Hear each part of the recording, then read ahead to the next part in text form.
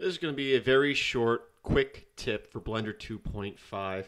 And uh, all it is is you see on all your menus, you have, uh, I'm going to call them tabs. I don't know if that's the correct term. And you can uh, close and open these tabs or uh, expand and collapse them uh, by clicking on the uh, little arrows here.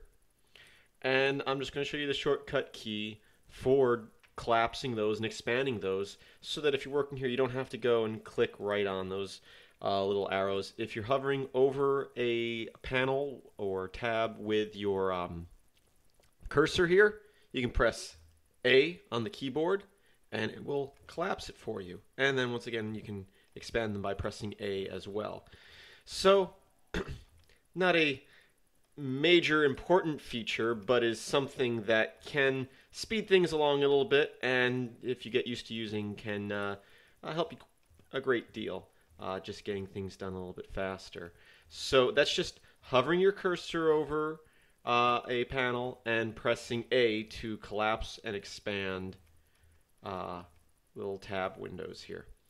I thank you for watching, and please visit filmsbykris.com for more tutorials like this and more tutorials that are uh, probably better than this one. But that was just a neat little feature that I learned recently and I thought I would share.